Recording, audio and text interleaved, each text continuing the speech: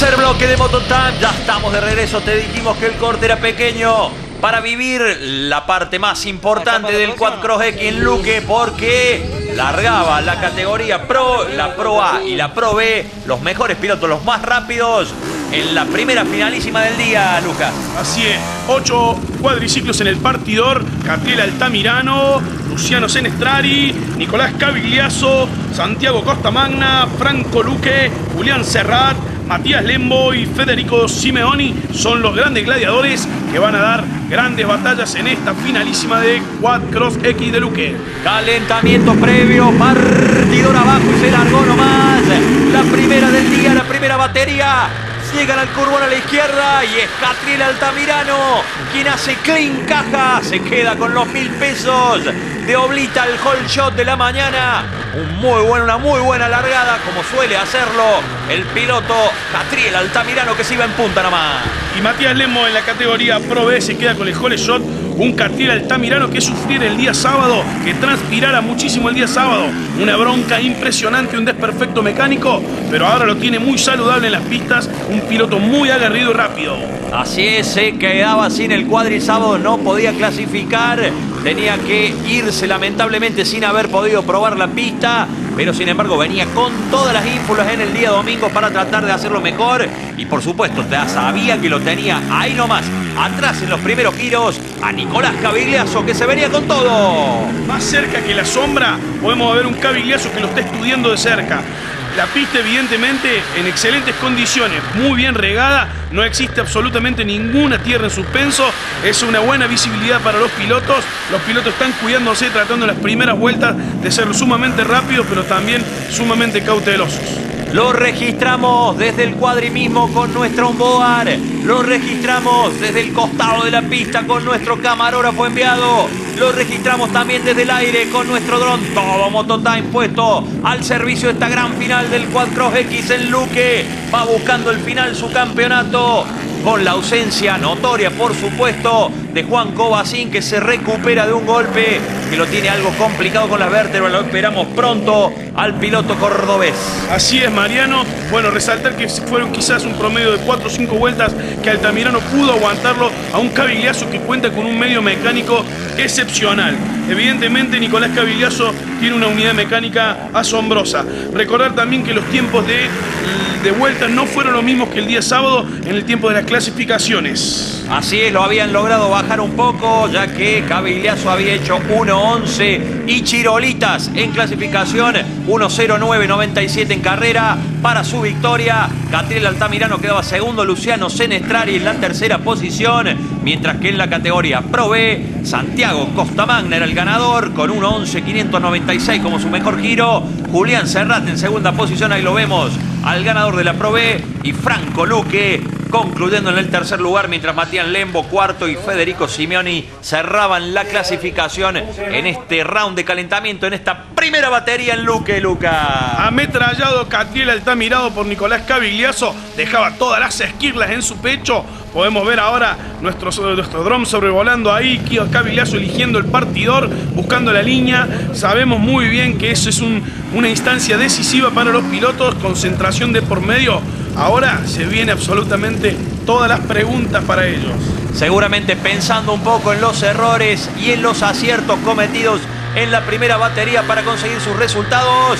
Partidor abajo, sí señor, partidor abajo. Nos subimos al cuadriciclo, nosotros lo vemos también desde el costado. Como la armaban impresionante, se viene tocando. Y es Cavigliazo, señores, el que hace el colchón. Sí señor, eso no era una telemetría, eran las revoluciones de nuestra cámara on board. Podemos ver que estos cuadriciclos son unidades 450 la mayoría de ellos, si no están perreadas algunas 490, ¿por qué no? Pero bueno, no tenemos ninguna certeza de ello. Se está cortando hacia adelante Cavigliazo, seguido muy de cerca por Senestrari y Altamirano.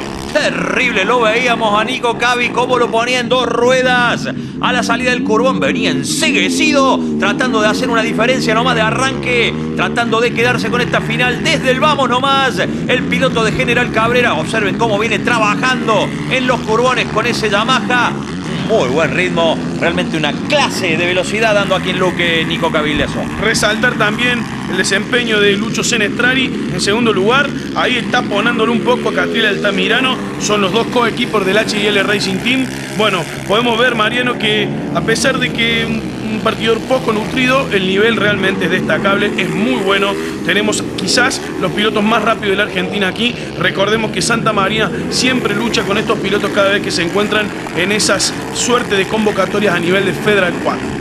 Seguro hay que reconocerle este 4X que es una escuela de pilotos para el ATV nacional y por supuesto provincial. Siempre ha convocado pilotos de todo el país para medirse con sus eh, rivales y en este caso, como vos bien dijiste, no es la cantidad lo que hace, sino la calidad. Mientras vemos cómo por momentos asomaba el sol en Luque, se veían algunas líneas de solcito que calentaban la tarde. Nico Caviliazo seguía firme adelante, firme como rulo de estatua, mientras Catriel Altamirano lo iba a buscar. ¿eh?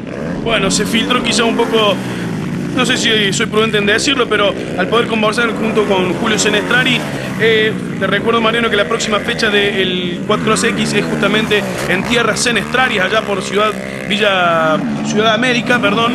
Y bueno, él justamente nos hizo hincapié en que va a ser un esfuerzo importante en traer todos los pilotos de punta a nivel nacional a aquella última finalísima del 4X. Bárbaro, realmente sería una gran decisión, un gran momento poder vivir una final del 4X con las figuras principales, tanto a nivel local como a nivel nacional ya que el 4X me parece lo merece y que de esa manera dejara abierto todo lo que se pueda replantear para una temporada 2016. Sí, permitime una cosita mientras vemos bandera cuadro para Cabilazo. Quienes se merecen siempre son los pilotos, especialmente ellos. El esfuerzo que ellos hacen es muy importante. Las erogaciones económicas son muy grandes para poder correr en este nivel y bueno, les pido especialmente a todos los auspiciantes que puedan ayudar a los pilotos justamente para que la carrera deportiva de ellos sea justamente algo eh, profesional, ¿por qué no?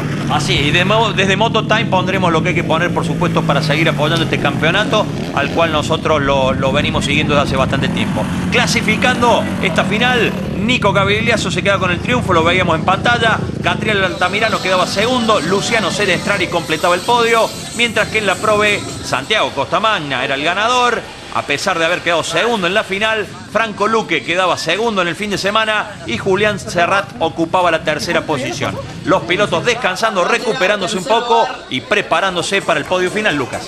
Recargamos combustibles y nos encontramos en una nueva jornada de Moto Time, siempre a fondo.